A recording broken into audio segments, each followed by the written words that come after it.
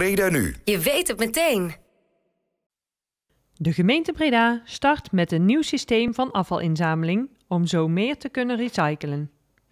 Het Ginneken is de eerste wijk in Breda waar is begonnen met het verwisselen van de afvalbakken. In plaats van twee krijgt iedereen voortaan drie kliko's. Eén voor GFT-afval, één voor papier en karton en één voor plastic verpakkingsafval en drankpakken. We staan hier bij je oude kliko en je krijgt nu nieuwe kliko's. Wat vind je daarvan?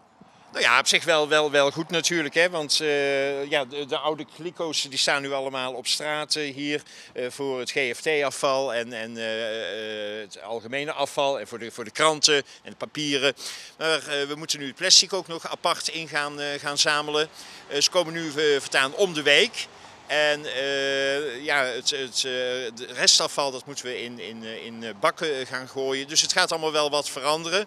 Maar goed, ja, het zal allemaal wel, wel nodig zijn. En het is wel heel erg goed dat, dat het plastic ook apart ingezameld gaat, gaat worden. Want ja, er is natuurlijk ontzettend veel plastic. En als je dat allemaal op, op straat ziet. Dus het is wel goed dat dat allemaal apart ingezameld gaat, gaat worden. Het is natuurlijk eventjes wennen voor, voor iedereen. We gaan afscheid nemen van de oude bakken. Maar ik neem aan dat het voor iedereen snel zal zijn. En dan uh, is Breda denk ik een, een, stad met een heel goed afvalsysteem. Ja, eerst had Breda twee uh, afvalbakken, maar nu moet u drie kliko's naar buiten slepen. Wat vindt u daarvan? Ja, slepen vind ik nou een heel groot uh, woord. Kijk, anders moest ik ook het plastic apart inzamelen. Dat moest ik ook in, in, in een zakje doen en, en ergens naartoe brengen.